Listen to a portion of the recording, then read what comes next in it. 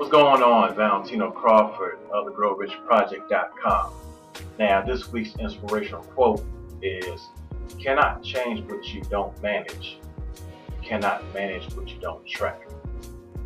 So, when it comes to making changes in your business or life, it is very important to understand the importance of tracking your progress.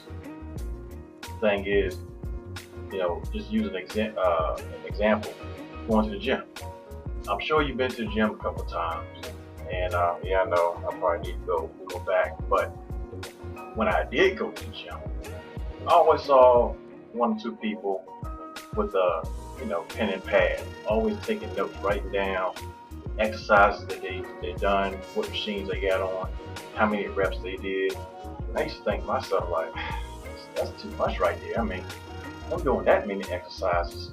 I gotta write stuff down. That's too much. You know, I don't need to be doing that many.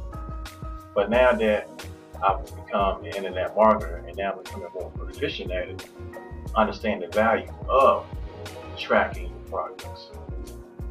And so I see, I catch myself doing it now when it comes to running campaigns, um, making notes of the URLs that I'm sending my traffic to, keywords that I'm actually using to optimize my you know my posts. I'm keeping track of all that stuff and I'm seeing what's performing and what's not performing well.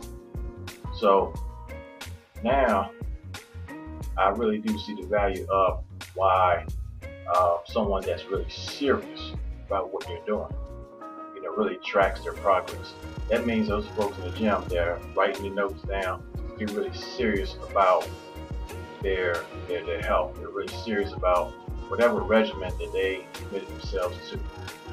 So I invite you to take that same level of commitment, put it into your own business, to your own life, and start tracking.